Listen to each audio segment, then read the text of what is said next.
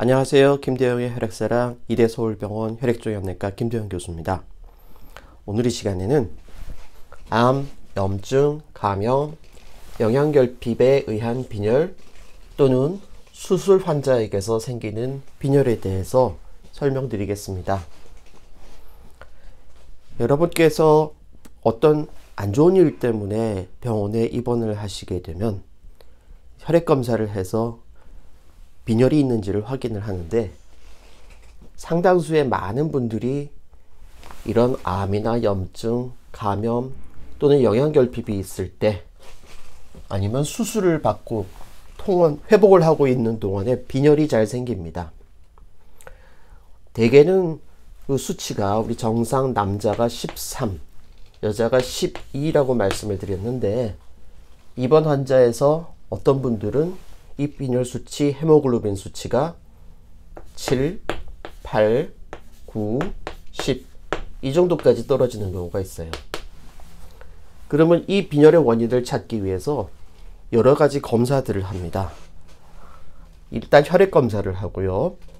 혈액 검사에서 철분 농도도 검사를 하고 비타민이나 엽산 같은 게 부족한지도 검사를 하고 경우에 따라서는 위나 장에 출혈이 있는지를 확인하기 위해서 위내시경이나 대장내시경을 하기도 합니다.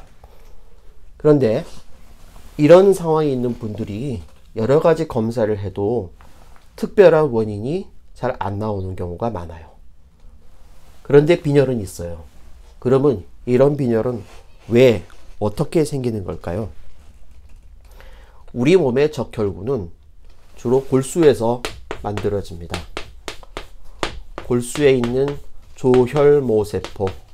저는 뭐 쉽게 이거를 피의 엄마세포다 이렇게 얘기를 하는데 이 조혈모세포라는 세포는 굉장히 활발하게 피를 만들지만 암이나 염증, 감염이 있으면 이 암, 염증, 감염에서 나오는 여러 가지 유독한 물질들이 우리 몸의 피 생성을 방해합니다. 그래서 골수에서 즉 조혈모 세포에서 만들어지는 피의 생성은 현저하게 떨어지고 적혈구의 원래 수명은 만들어진 이후에 120일 정도를 살아갑니다. 그런데 역시 이런 물질들에 의해서 나오는 여러 가지 유독 성분들이 적혈구의 수명도 떨어뜨립니다. 그래서 원래는 120일 정도를 살아가야 되는데 어떤 경우에는 적혈구가 뭐 60일 만에 깨지기도 하고 30일 만에 깨지기도 하고 이렇게 깨져서 파괴되는 경우가 생깁니다. 그래서 원래 건강한 사람은 13에서 12 이상을 유지하게 되어 있는데 이런 암, 염증, 감염이 있거나 영양결핍이 있는 분들은 생성이 떨어지고 파괴 속도가 늘어나면서 이 수치를 유지하지 못하고 점점 떨어지게 되는 거죠. 이게 암, 염증, 감염, 영양결핍에 의한 빈혈의 원인이 되겠습니다.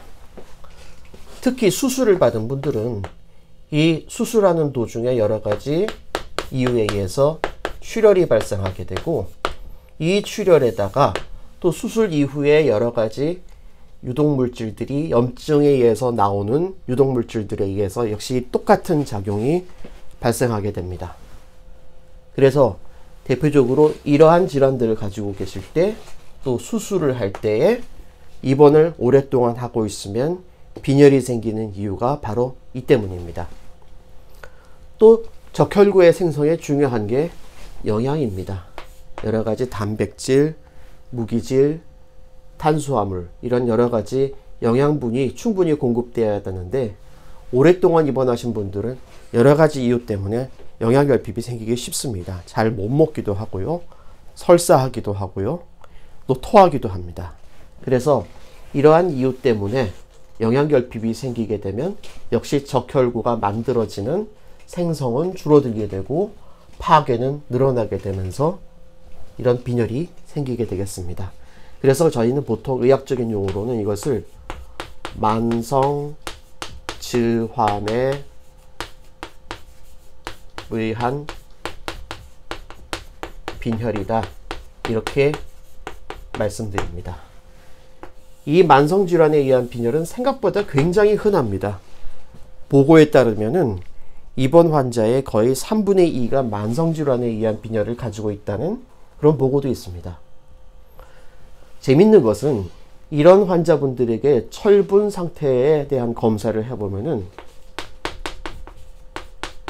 대개 철분은 올라가 있고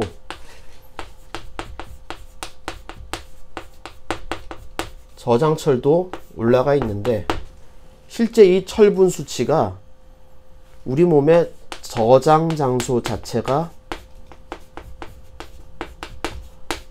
떨어지게 되면서 이 철분 수치가 실제로는 낮게 보이는 현상이 나타나게 됩니다. 그래서 이 검사를 해보면은 철분 상태는 철분 자체는 낮고 저장 장소도 낮고 저장철은 올라가 있는 이런 특징적인 혈액 검사를 보이는 거죠.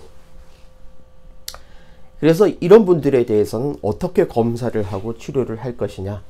우선 당연히 혈액 검사를 하는데 이 혈액 검사에서는 말씀드렸던 철분 상태에 대한 검사도 해야 되고요.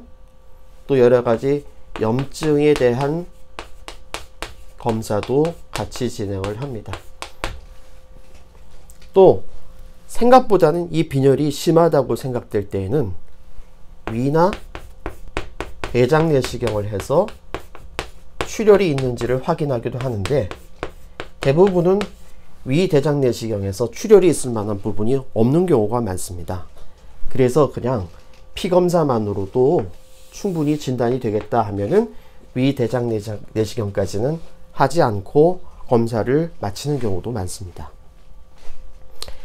그러면 이런 분들은 어떻게 치료를 해야 될까요?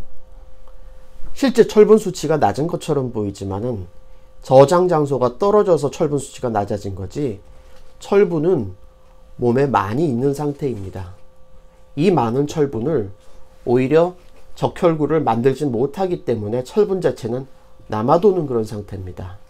즉 다시 말하자면 철분이 충분히 공급되어도 적혈구를 만들지 못하기 때문에 철분은 남아돌고 따라서 이런 분에게 주사나 먹는 약으로 철분을 들여도 빈혈이 좋아지지 않습니다.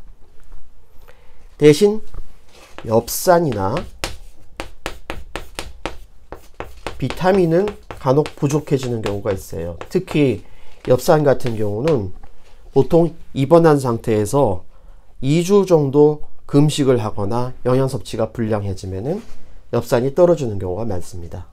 그래서 이런 분들에게는 엽산을 먹는 약이나 주사제로 보충을 하기도 합니다. 하지만 가장 중요한 것은 수혈을 통해서 혈액 수치, 즉 빈혈 수치, 헤모글로빈 수치를 7에서 8 이상 올린 상태로 유지하는 것이 중요합니다.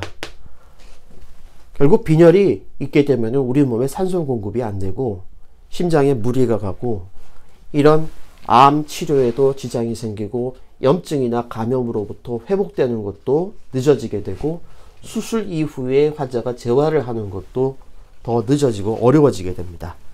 그래서 충분한 산소 공급을 위해서 수혈을 통해서 수치를 7에서 8 정도 유지해야 되고요.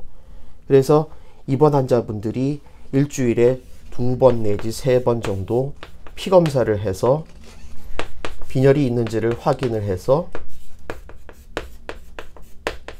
빈혈이 있을 때 수혈을 통해서 교정하는 것을 원칙을 하고 있습니다. 그러면 이런 빈혈이 계속되느냐? 그건 아니고 보통 이런 암 치료가 다 끝나거나 암으로부터 다 완치가 되거나 염증 감염이 좋아지거나 영양 공급이 충분해진다. 즉 치료가 끝나고 식사를 잘 하시게 되면은 이제 대개 이 빈혈은 저절로 호전이 됩니다. 이거는 조혈모 세포가 다시 적혈구를 만드는 기능이 올라가고 적혈구의 수명이 늘어나서 파괴되는 속도가 줄어들게 되면서 이러한 혈액 속에 있는 적혈구를 다시 원활하게 만들게 되면 빈혈은 교정이 됩니다. 하지만 이렇게 빈혈이 교정되는지를 보기 위해서 퇴원하신 이후 통원하는 도중에 수술, 암 치료, 염증 감염으로 인한 치료가 다 끝나고 퇴원하게 되면은 한 달 정도 이후에 또는 환자분에 따라서는 조금 더 빨리 볼 수도 있는데 예, 2주나 한 달 정도 이후에 어, 진료실로 방문하셔서 피 검사를 해서 빈혈이 좋아지는지를 확인을 하면 이 치료가 끝나게 됩니다. 자, 정리하겠습니다.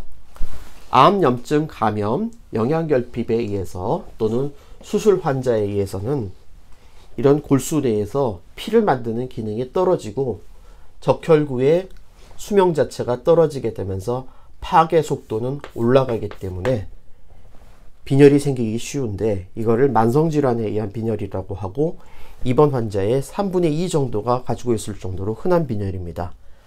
철분 검사를 해보면은 대개는 저장철은 굉장히 많이 올라가 있고 피 검사에서는 철분이 낮게 나오지만 실제로 저 철분의 저장 장소가 떨어지는 거기 때문에 철분 수치는 낮게 나옵니다.